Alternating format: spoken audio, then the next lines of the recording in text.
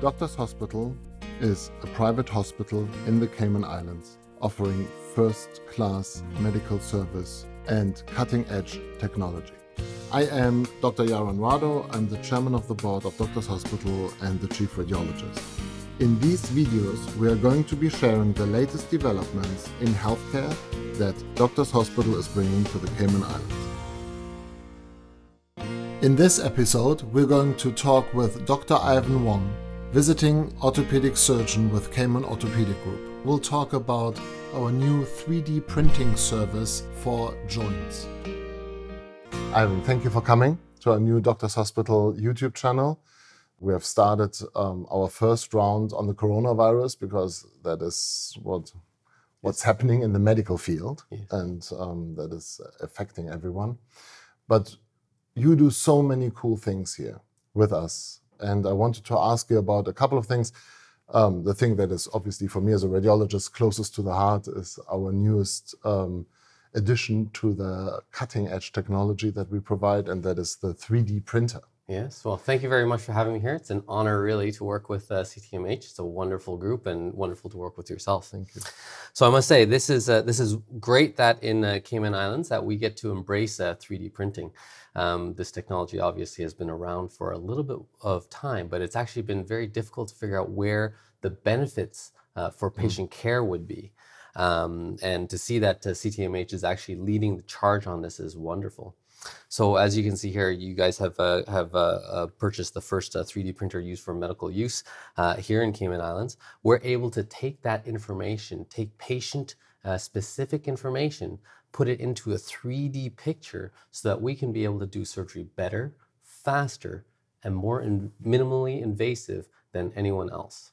So, if this would be my hip and I would be your patient, what would you tell me on this? Is this more for you or is it for you for the conversation with the patient? I think it's for both of those things. Okay. Uh, because as a patient, it's very difficult to understand exactly what is wrong and why the pain is going there. So we're able, to, as, as physicians, we're able to do uh, a history of which we can ask you questions and try to describe why that's a problem. We can do physical exam of which we can demonstrate where the problem comes.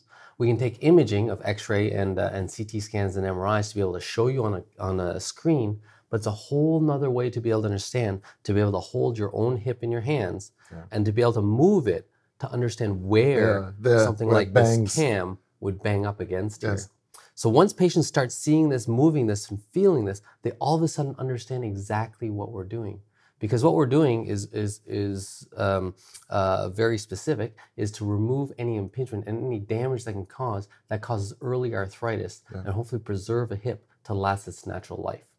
So I, I remember I've been um, following your um, many many of your talks that you have given that you are a proponent of doing of looking into the joint as early as possible to catch the osteoarthritis changes before you cannot do anything about them anymore. Absolutely. So, so my specialty is sports medicine, and sports medicine really encompasses uh, all patients uh, that come in that want to be taken care of in a way that preserves their body. So, my goal is to prevent any form of joint replacement. And to do something like this, if you can see on a, on a hip, there are certain spurs on there that can lead to premature wear and early damage. So if we're able to go in there and remove the spurs and repair the hip, the hip can actually last its whole lifetime. We now have research showing that we can get excellent results. Get patients can live an entire life without requiring a hip replacement if we can get to this early. We have lots of data to show that if we don't do this, this is probably the leading cause of hip arthritis. And only now do we have the technology to be able to remove this. With the 3D printing, the most important aspect is now we're able to understand the geometry and the intricacies of the hip to be able to do a better job because we know if we do a great job during surgery, we get a great result with our patients. Wow. I wasn't aware of that. That's really cool. Yeah. So this again, this 3D print is for both the patient Yeah. and the surgeon. And we've actually just completed a large uh, sample to show that with a 3D model, uh, you know, we've done, or I've done more than 3,000 of these. So I'm one of the uh, more advanced uh, hip arthroscopy uh, experts uh, out there. Um, but with In, a 3D I want to say in the world. In the I want, world, I want to. I want to jump into this in a moment. Yes. Yes, uh, so in the world. And we always talk about a learning curve, but even 10 years into practice with a 3D model, I can be better able to understand the geometry of hip during surgery to get better results. Wow. Does that mean that you take this into surgery and then when you're in the middle of the operation, you're like, bring I need to I need to see the model. Absolutely. So Seriously? during surgery, cool. you can ask the, the, the nurses, the everyone who works with me. Yeah. The model's actually very close and they hold it up to me, be able to show me exactly what I'm looking at, where I'm going, just to make sure we're doing exactly what we plan to do. Because it's very easy to get confused. We're doing the whole surgery to remove the bone spur, to fix the whole hip. We're doing it all through two little poke holes that's less than a centimeter in size. Yeah. And we don't cut a single muscle, we don't cut a single, uh, we don't cut anything in there. And to be able to do that so patients can go back to living their life uh, without problems is essential. And then to be able to do it well is even more critical. So that's where this 3D model comes in. It allows us to do our job much better, much safer, and through very small incisions so patients can get back to their life faster. You're an associate professor at Dalhousie University, and um, you've been coming down to the Cayman Islands for how long? For about eight years now. Eight years now, yeah. Yeah, it's been a while. Wow. So, what does uh, a professor who has most of the mo most experience in hip joints to come to the Cayman Islands. I mean, we, what we are talking about here is what, what we are trying to live up to your expectations. You called me on Saturday and said, I need that hip by Tuesday morning. And I was trying to get that together for you. And um, I, I, was there with my wife and we thought like, um, and she's like, and I said like, sorry, I need to go to the hospital. And she's like, why? I said, because if Dr. Wong calls and has, brings first world cutting edge medicine to the table, I need to jump. Yeah. yeah. and so so we did that. But what brings you to the island? Well, I must say, I first came down here. It was a wonderful experience. It's been it's been great for me. Um, again, working here has been fantastic.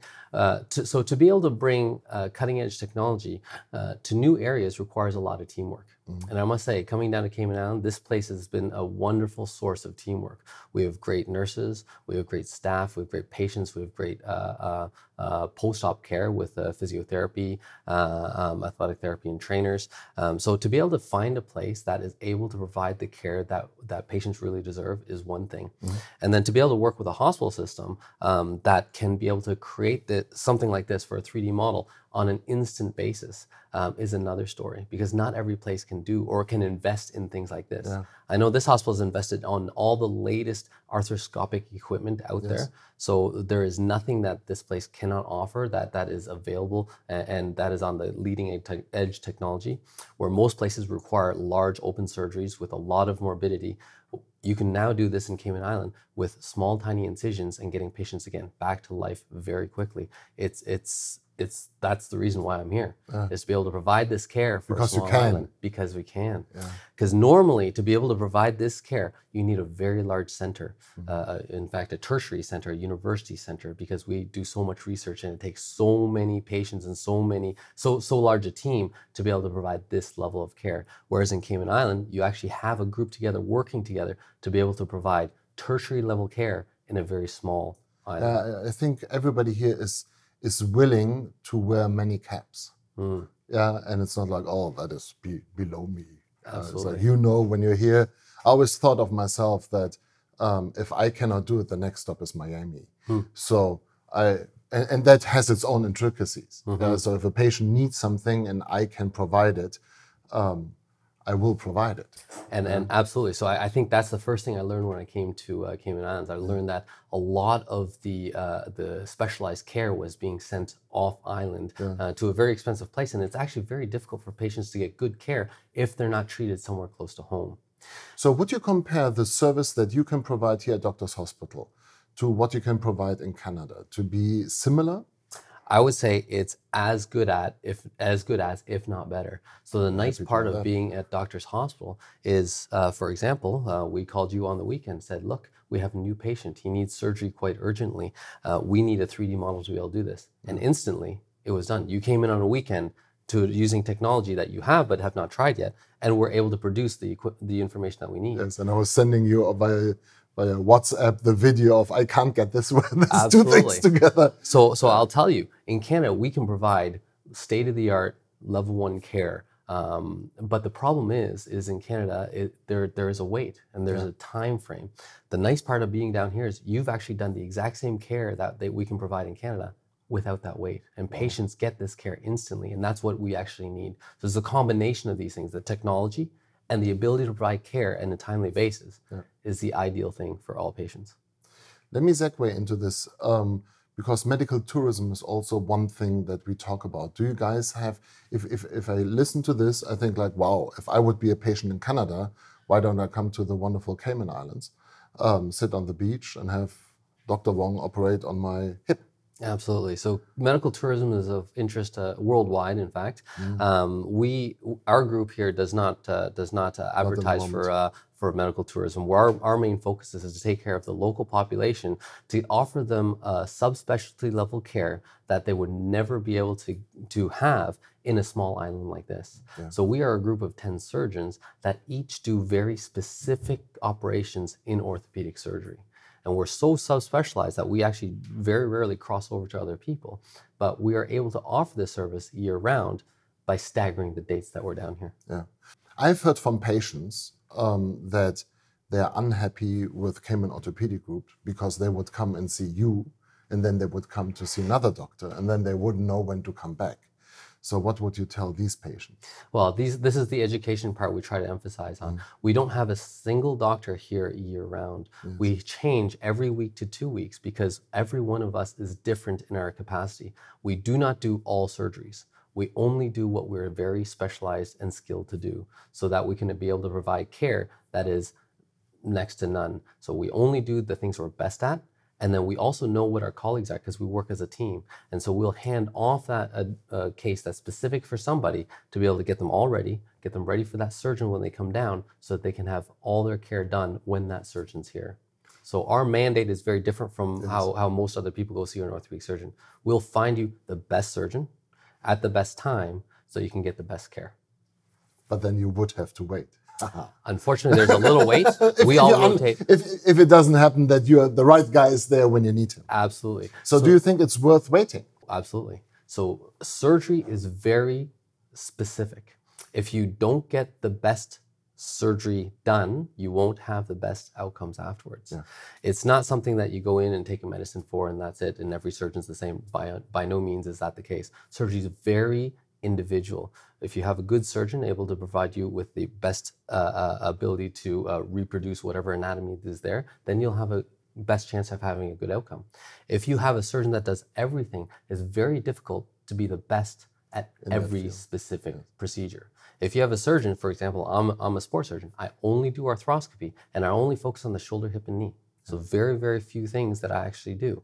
But those things I would consider myself an expert in. Yeah. Maybe you can talk a little bit about your colleagues. Yes. Um, so, what are the specialties that you guys provide? Where do you, where, where are your specialty pockets? So each one of us complements the other. Um, again, my specialty is sports medicine. I take care of all joint preservation procedures of the shoulder, hip, and knee. We have certain surgeons who are specialized in the foot and ankle only. So if you have foot and ankle problems, they start off taking care of the sports related surgery, so doing everything through minimal invasive means from arthroscopy, all the way up to joint replacement. So we can do everything. But again, very surgeon specific. We have two very different surgeons focusing on different aspects of the problems in the foot and ankle, if you're just looking at foot and ankle. Yes. Of the knees, we have very specialized surgeons. Some surgeons will specialize just on uh, preservation, like ligament reconstruction, cartilage reconstruction. We have very different surgeons, uh, two other surgeons, very specific on joint replacements to get the best possible outcome if you need a joint replacement because arthritis got to the end stage. And so we have everything in between. But again, spread over four or five different surgeons because we all focus on different aspects. We do the same thing for each and every joint in the human body hip, shoulder, elbow, wrist, hand. I think um, what is really hard to understand as a patient and as a layperson is to gauge the quality of a doctor. Yeah. Absolutely. It's. I think this is the. the it's a. Pro- I mean, even I have the same problem. I know you. I've seen your talks. I. I, I have the um, advantage of even having seen you operate. But on the other hand, if I'm a standard patient who has no idea, um, and I come to you and you say, "Well, we need to do this and that," and then I go for a second opinion, which is very rampant on this island, and a third and a fourth, and then oh, better let go to Miami. Um, I think the main problem is is um, and that's also, to be honest, that's one of the reasons I started this YouTube channel, Mm-hmm. is to make people understand how lucky we are of the technology and the and the quality of um, doctors that we actually can provide on this island. And often you get better surgery, better quality, better imaging, um, better 3D printing, and um, a more complete um, service than you could expect in the United States. And depending on where you're going to the United States, it might actually be on a complete different level um, of what we are providing here. Absolutely. So, so you're asking a very important question. It is very difficult for patients to navigate the healthcare system. The United States is probably a very good example of this. So you got the top level care in the United States, but you also have not so great surgeons. And surgery, if we talk about surgery specifically, is very surgeon dependent. So the quality of the surgery you get will definitely affect your outcome. At at least the Cayman Island, uh, Cayman Orthopedic Group, very specific on choosing the surgeons to be partners in this. And so these surgeons are the best in their own fields. They are in Canada, and the nice part of being in Canada is the standards are very similar all the way through Canada. There's no large discrepancy between the best surgeons and the worst surgeons uh, because it's a uh, universal healthcare, so everyone gets treated exactly the same. Um, for here in Cayman, it is very important for patients to be able to understand their surgery and ask those questions. So when patients come to me, I encourage them to get second opinions, third opinions. I encourage them to go look on YouTube, go look on Google to write down the questions. But the important thing is, is to actually write down the questions and ask their surgeon. And only when they're comfortable with those answers should they choose that surgeon. What, what questions would that be? Probably the most important question to ask is how many of these surgeries do you do per year? Hmm. And if that answer is less than 50, I would probably choose a different surgeon. and so I'll tell you the reason why I don't specifically practice all the time in Cayman Island or any of my group do is because I cannot do more than 50 hip arthroscopies here in a year because as, as a, as a sports specific surgeon, I roughly need a population of 2 million people to refer to me to be able to do the numbers of surgery that I need to do to be able to be the best in the field. Yeah. You have done a couple of firsts in the Cayman Islands. We've done many firsts in Cayman Island, um, and the nice part is, is because we, we've designed many of these surgical techniques in Canada, and so bringing it down to Cayman Island is very easy. Again, you with your uh, with the Doctors Hospital has been very kind to be able to get this equipment because the equipment to do this surgery is very expensive, and so to have the investment from a hospital system to be able to do those is very lucky, and which is why I enjoy coming down here to work. Eye-watering expensive. Yes, and uh, so we've we've been the first to create a uh, to use a bioinductive implant to improve the healing rates in rotator cuff repairs because rotator cuff repairs have a very high chance of failure because the, the the the structure of the tendon is usually degenerative. It's usually as we get older, the tissue is not as good. So we need new technology to be able to help it heal better. What is a bioinductive implant? Yeah, so a bioinductive implant is a is a implant that increases the ability of something to heal. It's probably one of the first in orthopedic surgery. It was designed and produced by by companies to be able to show that we can increase the healing of a rotator cuff, whereas all the other uh, treatments before was meant as repairing a rotator cuff, meaning just securing it to the right spot and letting your body heal. Which, if I remember your talks right, is quite problematic because once your rotator cuff is frayed, um, it's very hard for these end pieces of the muscles that insert into the shoulder um, to actually be, get the strength back that you need. Absolutely. Because the rotator cuff, as we learn about it more and more, the main reason why it fails or why it tears is because of a degenerative process, which means a wearing out process. So even though we have the technology now to do it minimal invasive, which means through tiny little holes, and sew it back down with anchors, which means at least reattaching it just like a tailor would with uh, with uh, with uh, shirts and clothes, that's not enough. That doesn't improve everyone. That improves most of the people. So now this is the next layer. Now we're using actually biology. We're inducing biology or starting biology, kickstarting it so that it has a better chance of healing. And all our latest research are showing that yes, this is actually working and we're able to provide this care here, which is actually the first time it's provided outside of North America. Unbelievable.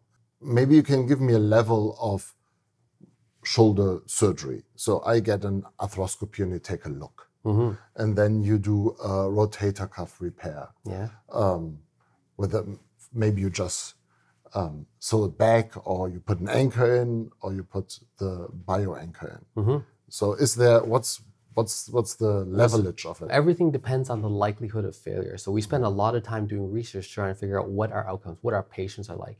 And anyone who comes into Cayman Orthopedic Group will know that they get this tablet, they get a lot of questionnaires, and those questionnaires help us understand how much pain they have, how much problem they have, as well as track our outcomes to make sure that what we're doing is the best possible treatment that we can give our patients.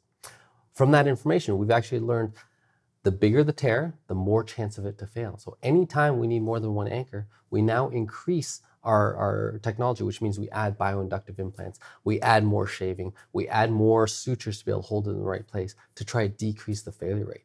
But small tears have a better chance of healing. So you make that analogy into small tears in your in your uh, on your pants, on your knees, only make, need a couple stitches to hold in place. Whereas bigger tears, you need patches to hold it in place. So very similar to biology. Small tears only need small amounts of tissue to be able to, uh, small amount of equipment to be able to repair it. Bigger tears need more equipment and more inducing uh, uh, uh, biology to be able to make this heal. Thank you, thank you for coming. Thank you for the great work you're doing here. I'm very lucky to be able to work with this wonderful team at Doctors Hospital. I look forward to many more years of this to come.